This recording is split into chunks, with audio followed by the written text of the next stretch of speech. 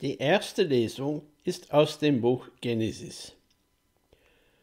Gott der Herr formte den Menschen, Staub vom Erdboden und blies in seine Nase den Lebensatem. So wurde der Mensch zu einem lebendigen Wesen. Dann pflanzte Gott der Herr in Eden im Osten einen Garten und setzte dorthin den Menschen, den er geformt hatte. Gott der Herr ließ aus dem Erdboden allerlei Bäume wachsen, begehrenswert anzusehen und köstlich zu essen. In der Mitte des Gartens aber den Baum des Lebens und den Baum der Erkenntnis von Gut und Böse. Die Schlange war schlauer als alle Tiere des Feldes, die Gott der Herr gemacht hatte.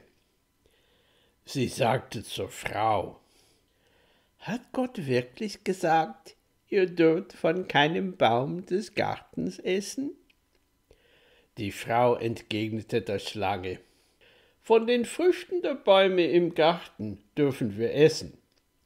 Nur von den Früchten des Baumes der in der Mitte des Gartens steht, hat Gott gesagt, davon dürft ihr nicht essen und daran dürftet ihr nicht rühren, sonst werdet ihr sterben. Darauf sagte die Schlange zur Frau, Nein, ihr werdet nicht sterben. Gott weiß viel mehr. Sobald ihr davon esst, geht euch die Augen auf. Ihr werdet wie Gott und erkennt Gut und Böse. Da sah die Frau, dass es köstlich wäre, von dem Baum zu essen, dass der Baum eine Augenweide war und begehrenswert war, um klug zu werden. Sie nahm von seinen Früchten und aß. Sie gab auch ihrem Mann, der bei ihr war, und auch er aß. Da gingen beiden die Augen auf, und sie erkannten, dass sie nackt waren.